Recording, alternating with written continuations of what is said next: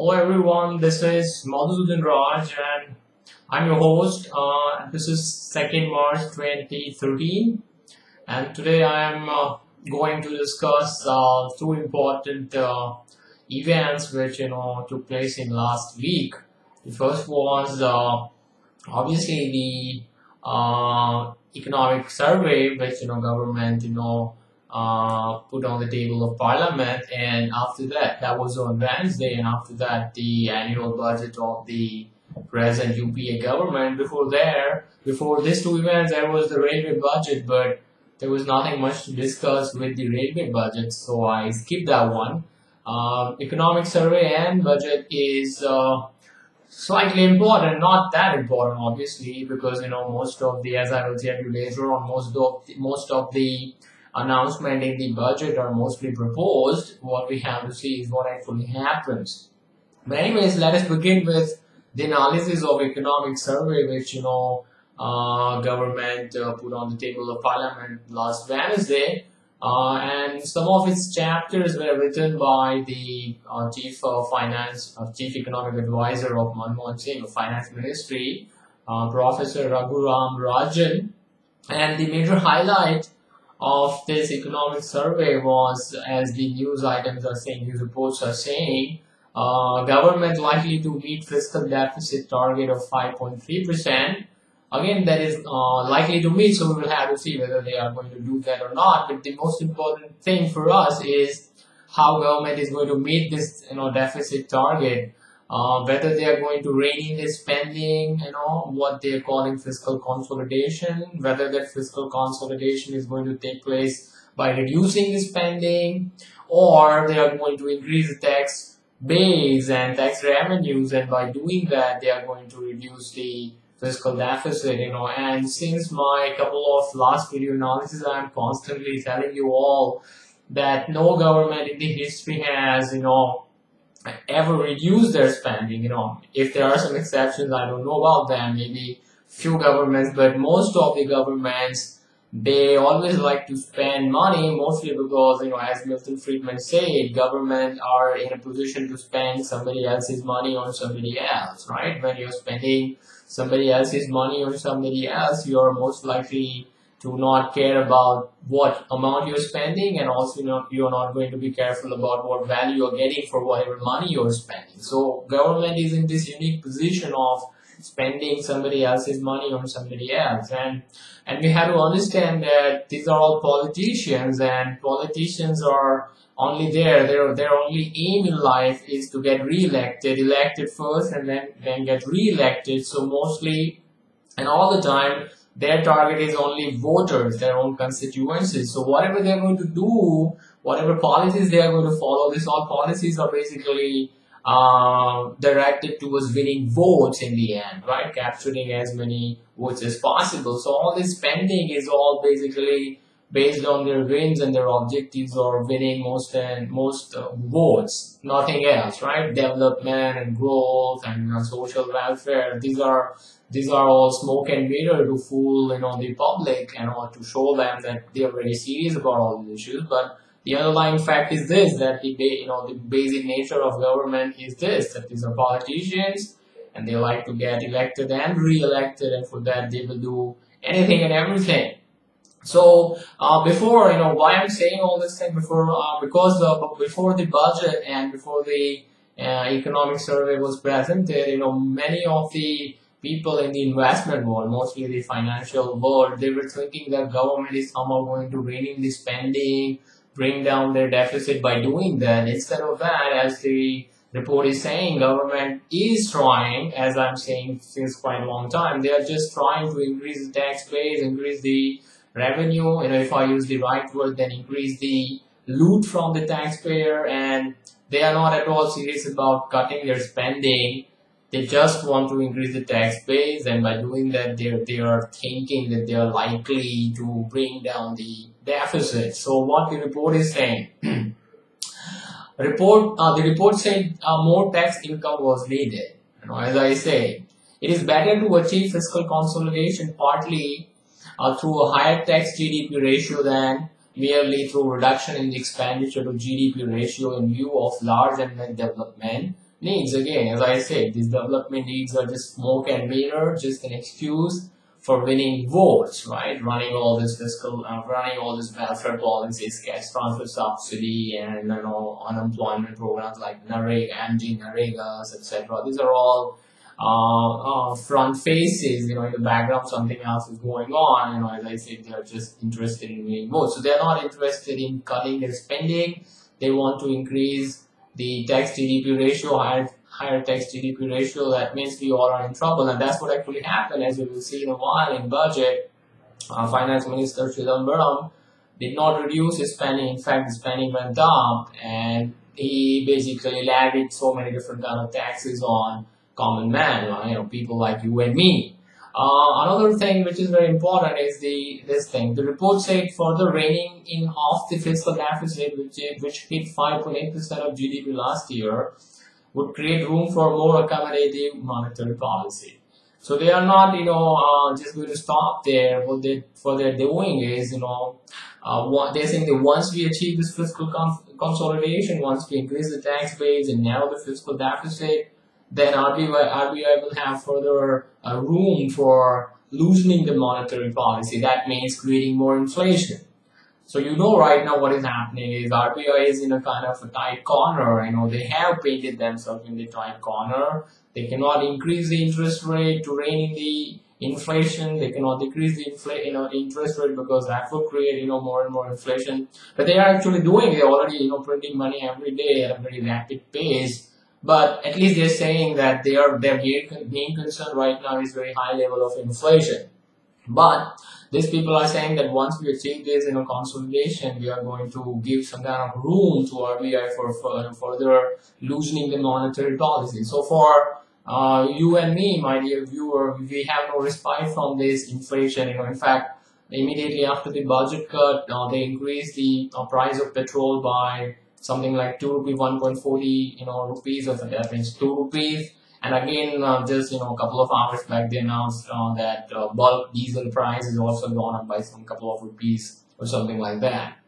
Uh, the report recommended further curbing gold imports to narrow the current account deficit. You know, and to reduce the current account deficit, they think that uh, people importing gold is the culprit. So they are going to, you know, do something about it. They already raised the duties to six percent from four percent and they are trying to create all kind of you know uh, uh, phony paper gold schemes you know which I analyze in my past analysis and I'm frequently warning you to stay away from all this kind of so-called financial paper instrument because they are just paper promises continue to accumulate physical gold and silver but RBI is against that you know I think now they have also make it made it mandatory for the jewelers to ask for uh, the buyers, you know, bank card uh, if they buy more than 50,000 rupees worth of gold. So they are they are cracking down on gold because they think that's the problem. And in fact, a few days back, uh, yesterday, Chidambaram also pleaded to people that they should stop buying and reduce, you know,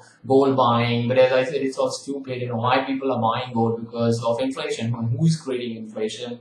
Uh, government and RBI itself. But any case, the most important thing in this economic report was uh, this, that uh, Raghuram Rajan, as I said, the chief, uh, the lead author of that report, he said that uh, the stimulus packages which government and RBI announced uh, immediately in the aftermath of aftermath of the 2007 uh, financial crisis uh, are responsible for the current situation, the, the kind of problem in which the Indian economy is finding itself right now, right? So he's saying that um, uh, in the in a cogent introductory to the survey, Dr. Rajan analyzed the causes of the recent slowdown by highlighting three objectives that need to be implemented. Pointing the causes for the slowdown, Dr. Rajan said a number of factors are responsible. First, to first the boost to demand given by monetary and fiscal stimulus following the global financial crisis was large, even though the economy was already reaching the limits to its potential growth before the crisis. So he is accepting that the stimulus packages, you know, stimulus packages means the inflation which they created by pumping and printing a lot of money out of thin air immediately after the financial crisis of 2007, at least if you know if you see my blog entries, then I have you know listed all this you know stimulus packages. At least uh, three to four stimulus packages, big ones they announced uh, after the uh, financial crisis started in 2007, in 2008, 2009, and 2010 which you know obviously resulted into this mess. You know as i said you know money printing will result into many different kind of problems not just uh, it is inflation itself and not it is not only going to increase the prices it is also going to distort the capital and production structure of the economy uh, which is going to result into this boom and bust cycles and also the economy is crashing right now these phony growth numbers are coming down from 10% to 5%, which, you know, uh, economic surveys also project, you know, it was last year they are projecting 6% or something like that for the uh, this fiscal year 2013-14. Why is that happening? Because they created that artificial boom via those stimulus packages, via those money printing. And now the economy is going through that correctionary phase, recession, bust. If they will not allow that, this bust is going to become, recession is going to turn into depression, and that is for sure because they are still RBI is still looking to print a lot of money. So they are going to create, you know, this depression out of this recession. But they are saying they're accepting, you know, at least the chief economic advisor is accepting that the stimulus packages are to be blamed for this current situation. But what he's doing after that, if that was the case, then they should be, you know, doing something with the RBI. Who is responsible for the stimulus packages? You know, RBI, right? Reserve Bank of India was the enabler right? They are the ones who are providing this punch ball, right? If the party is going on, then the punch ball has been provided by the central bank, by the, by the RBI. They're printing all this money and giving it to banks and giving it to the government to spend out in the economy. But even after all this thing, accepting that stimulus package is very responsible, they are not blaming the RBI for that. Right? Rajan is saying that while not holding the RBI directly responsible, for its action to control inflation, the survey pointed out that falling savings without a commensurate fall in aggregate investment has led to a widening current account deficits. It has nothing to do with saving and investment. It's all, you know, uh, saving and investments are further down the road. The cause of this crisis is obviously RBI's money printing, inflation which they are creating. That is what is hurting the savers and that is what is you know siphoning off the investment also right that is what is putting this economy into trouble but central bank RBI for this mainstream economists is a sacred cow and it's sacrosanct they're never going to question its policies I remember in one of the conference, you know, I asked one RBI official that, uh, you know, does he think that RBI is the main cause? And he was saying that you are blaming the doctor for the ailment. You know, he think that he, he was thinking that economy is kind of a patient and you know economy is ill, and uh, RBI is the doctor who is curing that ailment, right? In any case, that analogy was wrong itself, and but this is what is their mindset that RBI, the central banks, cannot do anything wrong, right? They are kind of doctors who are trying to cure the economy, but they're obviously, you know, fooling all of us. Either they are mistaken, they don't understand economics, or they are naives and they're fooling all of us. Because central bank is the enabler, is the major cause of this and bust cycles of inflation and everything. So as you know, unless and until you are do, going to do something with the central bank, right? You know, either you're going to control it somehow, but you know, as I said, that is not possible. You, you have dismantled the RBI. Right? You know, if you change the monetary system and the whole status quo, only then the problem will, you know, get solved and then the situation will improve for better. Otherwise, if you're going to play in the status quo, then nothing is going to happen. Right, so that was a major take from uh, the for uh, uh, from the um, economic survey, and after the economic survey, Chidambaram, Finance Minister Chidambaram presented the budget, and it disappointed everybody and many people are saying that it was a political budget. So what do you else expect from the government? Obviously, politicians are going to present a political budget, right? Expecting anything from these people is kind of height of optimism, right? Investors were, as I said, expecting that it is going to rein in the spending, government is going to rein in the spending, and they are going to give some kind of boost to the investment. Nothing like that happened, and immediately after the budget, the stock market crashed by something like 290 points. BSE Sensex was down by 290 points, right? Uh, so this report is saying that 10 reasons why Sensex ended at three month low. And the major reason they're citing is increased spending. Mr. Chidambaram had proposed to raise government spending to 16.65 trillion rupees against expectation of a closer check on spending to curtail the fiscal deficit to 4.8% of GDP in fiscal year 14, 13, 2013 and 14, right? So as I said, they're never going to do that, and uh, they're also, you know, I'm talking about quality of spending. So all this spending is also going on, you know, uh, on uh, welfare activities, so-called. Government is not going to do any productive thing because they cannot do it. Government is a pure consumption sector. It's a parasite, obviously. So again, if you're expecting anything productive, anything creative from the government, again, then I think you're very naive, right? Uh, they also imposed a lot of higher taxes, and there were a lot of you know ambiguities about that Mauritius, you know, tax haven problem. Some kind of wording was changed, and that spooked the investor, and that was the reason why the you know the stock market crashed, right? but not only that, not only he uh, uh, increased the spending and increase the taxation as he was already hinting you know uh, since I think quite a couple of months that he is not going to you know rein in the spending right? I confused the foreign investors also as I said that uh, some GAAR issues Mauritius problem. Yes another big one was uh, he and again I was you know talking about this that the he's going to tax the very super rich people and he did in budget 2013 rich taxpayers to pay 10% surcharge. So he levied 10% surcharge on uh, those people who are whose you know annual income is more than 1 crore rupee. And he's saying that this is just for one year and he's citing uh, the main kind of uh, inspiration for him was uh, Azim Premji, and Azim Premji is India's Warren Buffett, right? In America, they have this Buffett tax proposal. And all these rich people, they don't understand this businessmen, they have business acumen, but they don't understand economics, right? They don't understand that when you're diverting all this taxpayers' money to government, you're just wasting society's resources. You're just feeding the beast. Instead of that, we need to starve the beast right? But Azim Premji was saying that you should be doing it. Rich people can pay something, you know, when the economy is in trouble.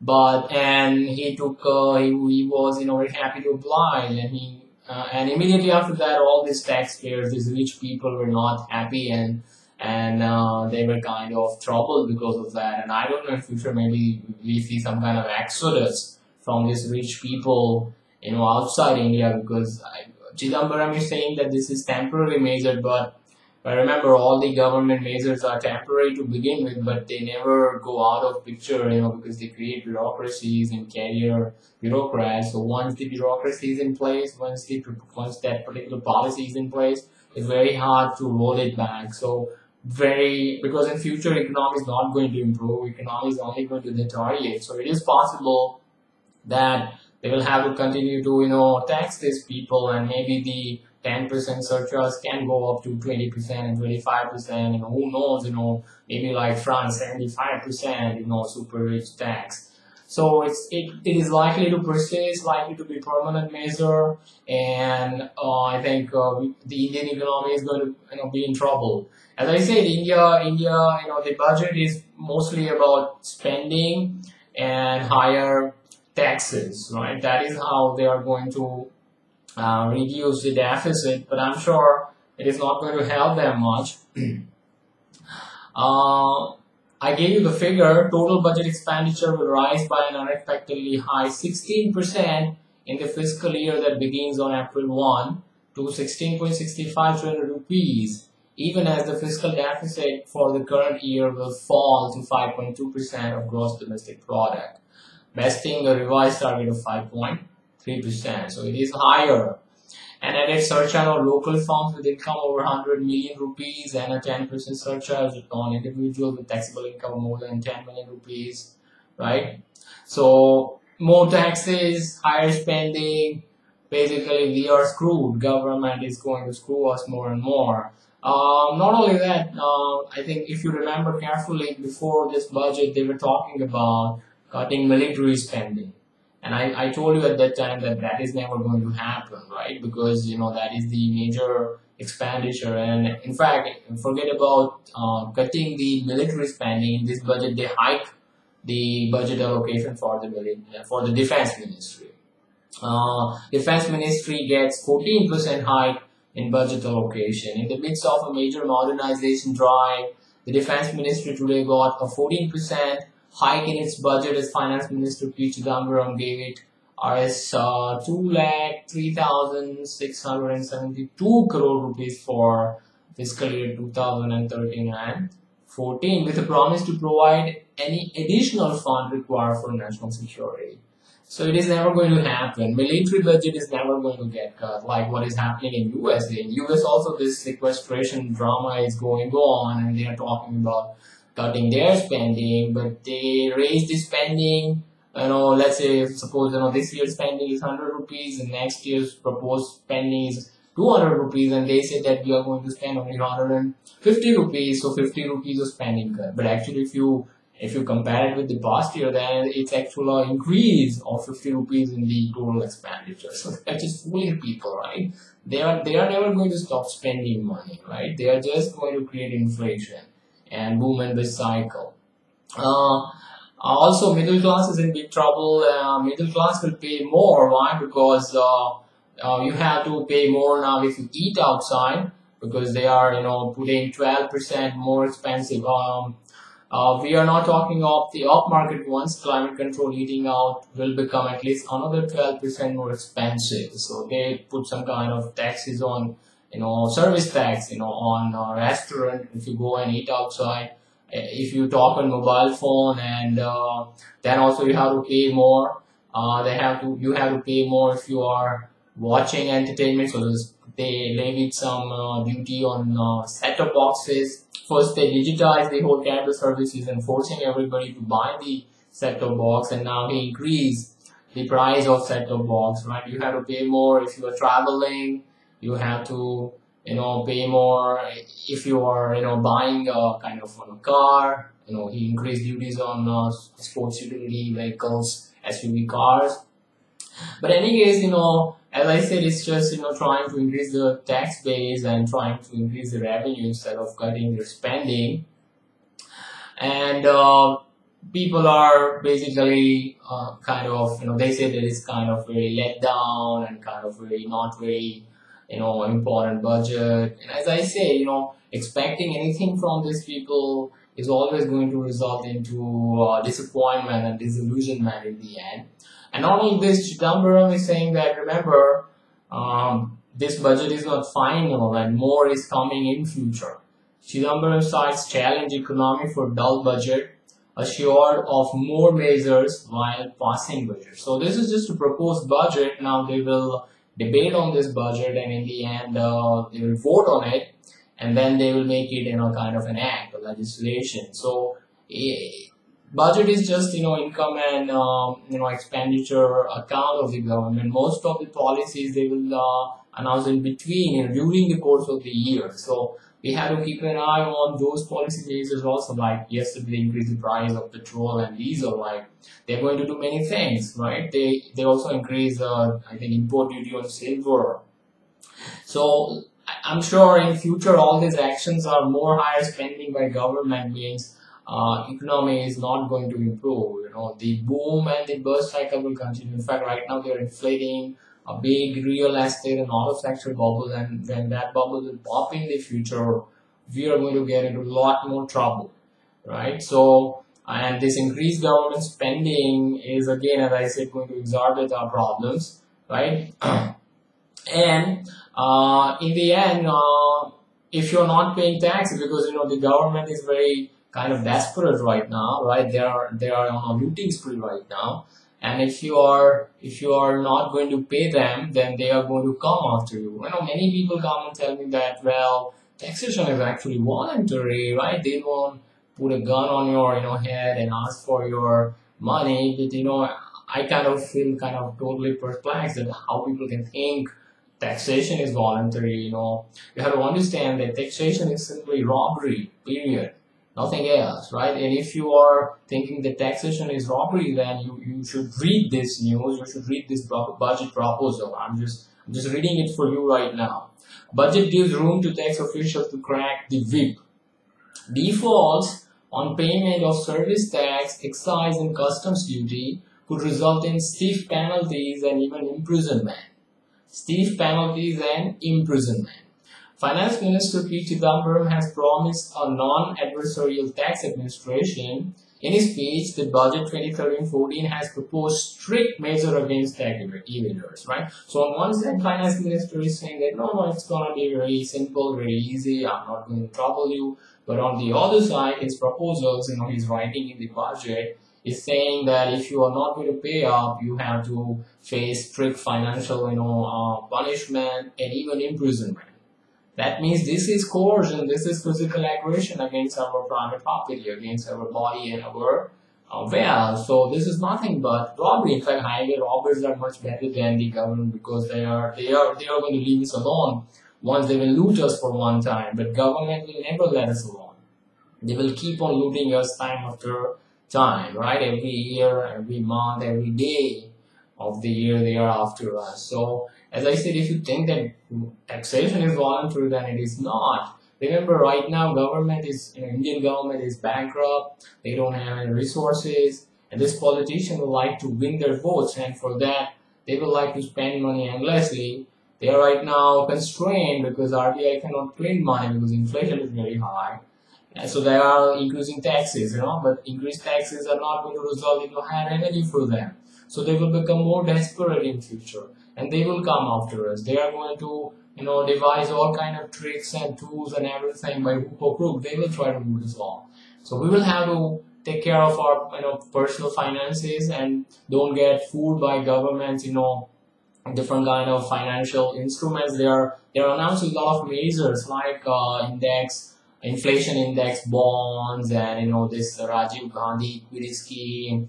But these are all paper promises. You know, if you go and invest your hard and money into that, then they are then it is sure that they will you you are going to lose them because these are all paper gold, paper you know uh, investment schemes. You know what they call financial investment. You have to stay away from that. You have to continue to accumulate physical assets, like as I say, you know, physical gold and physical silver if you're going to trust your government, then you're going to kill yourself. Alright, so I guess, you know, this is what I want to tell you. If you, you know, as I said, don't, don't expect anything better from the government because they cannot do anything, you know, good. They are not a productive sector of the economy. They are the pure consumption, parasitic sector. And obviously they are hungry right now and they are going to suck our blood more and more. We have to be careful. We have to just protect ourselves and our wealth from this, you know, hungry, looting government. Alright, so you take care over there and I'll see you, you know, in future when some important news will be there. Alright, so thank you very much for watching me. Good night.